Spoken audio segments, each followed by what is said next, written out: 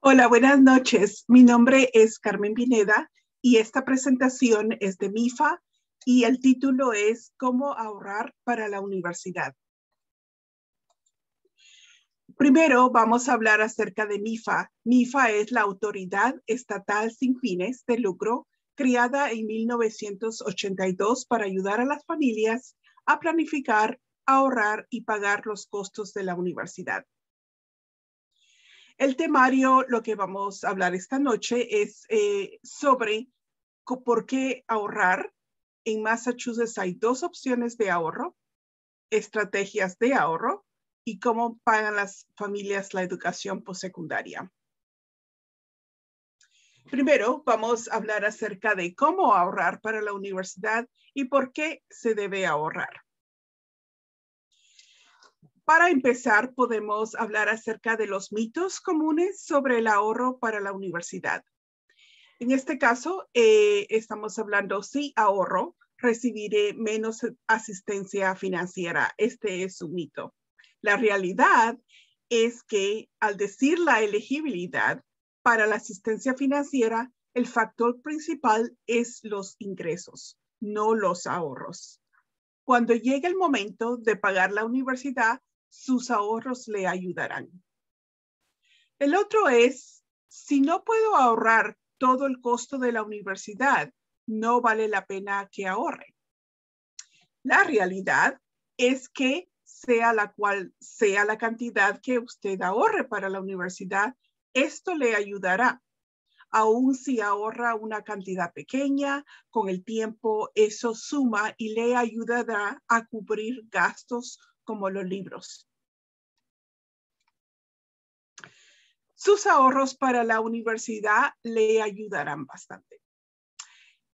le ofrece más opciones educativas, diferentes tipos de universidades, programas especiales como estudiar en el extranjero. También reducen o eliminan la necesidad de pedir préstamos. Permiten que el estudiante trabaje menos y estudie más. Tienen un impacto mínimo en la elegibilidad para la asistencia financiera. So, en, este, en este caso, sus ahorros para la universidad sí le van a ayudar. Los beneficios de los planes que se llama el 529 eh, existen y quiere decir que le van a aumentar la asistencia y los niveles de graduación, benefician a las personas con cualquier nivel de ingresos y motivan a su hijo o a su hija. So, en este caso, estamos viendo una eh, eh, escala aquí sobre cómo es que estos ahorros le pueden ayudar a usted y a su familia. ¿Cómo ahorrar para la universidad? En Massachusetts hay dos opciones de ahorro. uno se llama Plan de Inversión para la Universidad, el U-Fund del 529. ¿Cómo funciona el U-Fund? le voy a explicar de esta manera. Usted empieza a ahorrar para gastos elegibles de la educación superior, que esto incluye la matrícula, los honorarios, el alojamiento, comida, los libros, suministros y el equipo que va a utilizar cuando el estudiante va a la universidad. Los ahorros se pueden usar en cualquier universidad acreditada del país. El máximo de cuentas combinadas puede ser de 500 mil dólares. No hay cuotas anuales de mantenimiento de la cuenta y no se requiere una inversión mínima. Lo otro es, la, hay opciones de inversión múltiples. Por ejemplo, la gestión activa, la cartera indexada, carteras de asignación individual, asegurado por el FDIC. Inscríbase en línea por este enlace que le ponemos acá, eh, que es el de fidelity.com, C-O-M, eh, la rayita para atrás, U-FAN, o usted puede llamar al 1-800-544-2776. El otro programa se llama el programa de matrícula prepagada de U-Plan. Vamos a hablar de este. ¿Cómo funciona este plan? Este plan le permite pagar por adelantado hasta 100% de la matrícula y los honorarios obligatorios en las universidades participantes. La red es amplia de universidades públicas y privadas en Massachusetts. Usted compra un certificado que le garantiza el precio actual de la matrícula y los honorarios obligatorios. Los certificados de matrícula del U-Plan quiere decir que representan los intereses en bonos de obligación general del Estado. En este caso, estamos traduciendo eh, en inglés, de inglés, Commonwealth General Obligation Bonds. Estos son los bonos de obligación general del Estado. Están respaldados por la plena fe y el crédito de, del Estado de Massachusetts. No están sujetos a fluctuaciones del mercado y también se requiere un mínimo de 300 para empezar. Se aceptan contribuciones el, año entero. Los bonos se compran y los porcentajes se fijan en julio, el mes de julio. Para mayor información, de nuevo, usted puede ver el enlace acá, que estamos hablando de mifa.org con la rayita para atrás, U plan. Los usos ampliados del plan del 529. Puede usar hasta 10 mil dólares de los fondos del plan 529 para pagar los gastos relacionados con la educación privada y pública de kindergarten hasta el doceavo grado. Pagar los gastos relacionados con pasantías, puestos de aprendiz y pagar eh, préstamos estudiantiles. So, eh, tiene varias maneras que esto le puede ayudar a usted y a su familia. El plan de ahorros que le llamamos eh, Baby Steps, así se llama el plan de ahorros, cualquier niño que sea residente de Massachusetts y haya nacido o haya sido adoptado del primero de enero del 2020 en adelante, tiene derecho a que la Oficina del Tesoro del Estado le haga un depósito inicial de 50 dólares en su cuenta de la cuenta del U-Fund dentro de un año de la fecha de su nacimiento o de adopción, con su nombre como beneficiario en este caso. El otro son los beneficios impositivos en Massachusetts. En Massachusetts, las contribuciones del U-Plan, al U-Plan, perdón, y al U-Fund son deductibles de los impuestos estatales. Hasta dos mil dólares para contribuyentes casados, hasta mil para contribuyentes individuales, y los límites son por contribuyente, no por cuenta. En en la próxima eh, vamos a hablar acerca de cómo ahorrar para la universidad y cuáles son las estrategias de ahorro que podemos tener. Las estrategias de ahorro, em, en este caso estamos hablando de empezar a ahorrar lo más pronto posible. Utilice el tiempo a su favor. Empiece con un objetivo en mente, aproveche los fondos inesperados, utilice las transferencias automáticas, corra la voz, dígale a su familia y a sus amigos que contribuyan y también permita que su niño o su niña participe. Las herramientas de MIFA de planificación para la universidad. Cree una estrategia personal para pagar la educación superior de su hijo o de su hijo. Anote sus ahorros actuales para la universidad proyecte los gastos universitarios de un futuro y asesórese para cubrir el déficit. Muy importante. El interés compuesto. Por ejemplo, estamos teniendo esto. Julie empieza a ahorrar 50 por mes en una cuenta del 529 cuando nace su primer niño. El otro escenario, Jonathan empieza a ahorrar eh, a ahorrar 100 dólares por mes en una cuenta del 529 cuando su niño está en el segundo año. ¿quién tendrá más dinero ahorrando cuando el niño cumple 18 años? El interés compuesto, en este caso, en el escenario que le acabamos de dar, eh, Julie empieza a ahorrar los 50 por mes en una cuenta del 529 cuando nace su primer niño, que sería de 21 21.536 uh, dólares. Ha contribuido 10.800 de contribución y los 10.736 de interés acumulado. Jonathan empieza a ahorrar 100 por mes en una cuenta de 500, de la cuenta del 529, cuando su hijo está en el segundo grado, eh, segundo grado. Entonces sería esto, so, 16,798.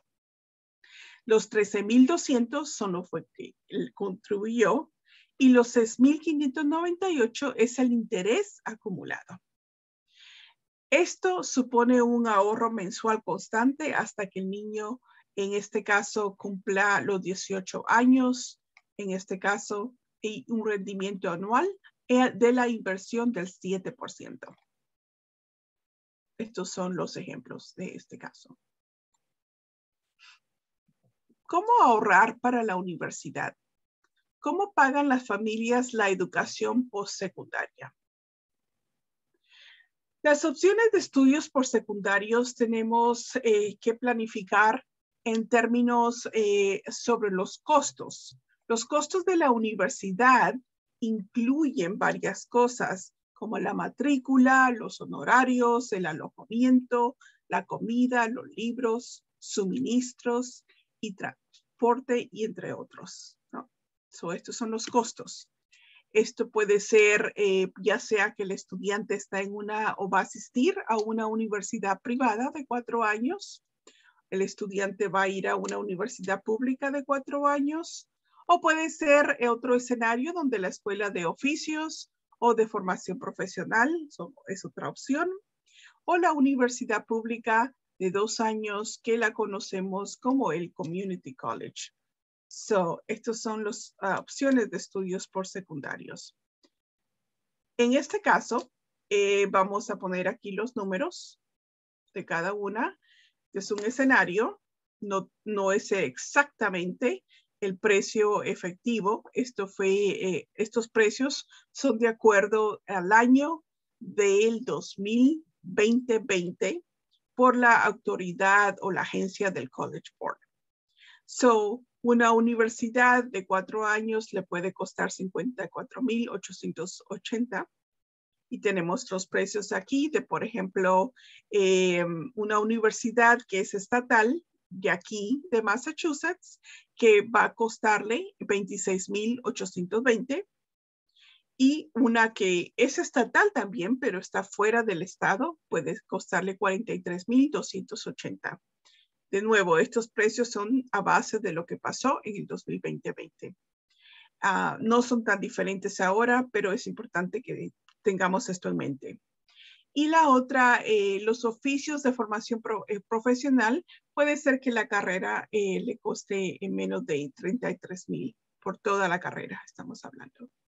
También los colegios que son de educación, universidad pública, pero de dos años, es un poco más ah, reducido el precio de 9.470 por cada año.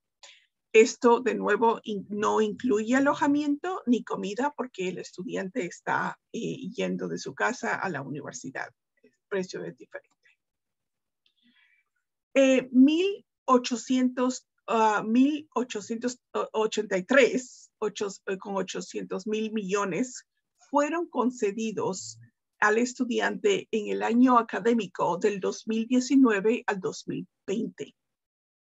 Quiere decir que hay ah, obviamente dinero en el cual ya se ha dado y, sigue, ah, se sigue ofreciendo.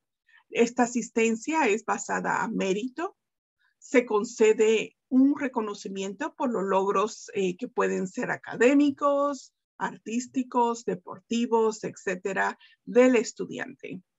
También la asistencia puede ser ya sea, como mencioné, a mérito, pero también puede ser la asistencia a base de la necesidad, que se concede de acuerdo a la elegibilidad financiera de la familia.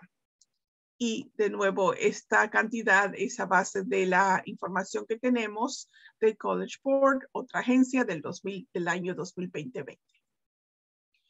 ¿Cómo, pagar las, ¿Cómo pagan las familias la educación postsecundaria? So, estas son las maneras, asistencia financiera, los ingresos anteriores, que habíamos hablado de los ahorros, los ingresos actuales, como el salario, se pueden hacer plan de pago, eh, ingresos futuros, los préstamos para padres, préstamos estudiantiles que tenemos.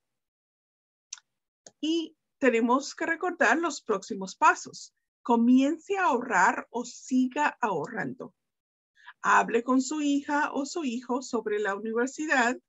Utilice las herramientas en línea para informarse sobre los costos de la universidad. Inscríbase en los seminarios de web de aquí de MIFA eh, por medio de este enlace que le llamamos mifa.org, la rayita para atrás events, uh, y únase a la comunidad de correo electrónico de MIFA eh, por medio de, la, de, su enlace de mifa.org.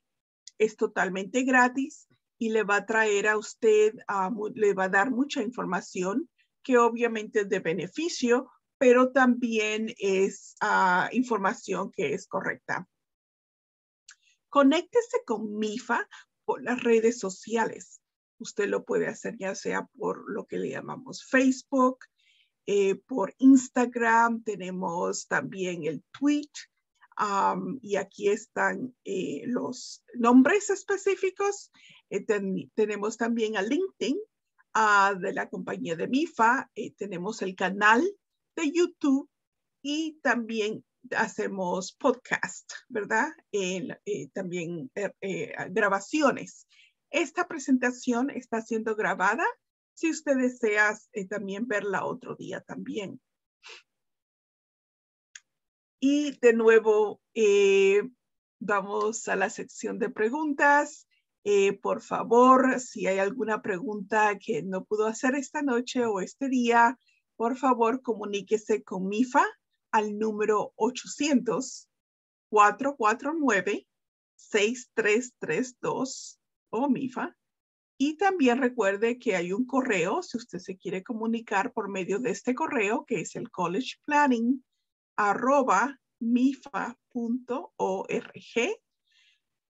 So, hay varias maneras que ustedes pueden tomar parte.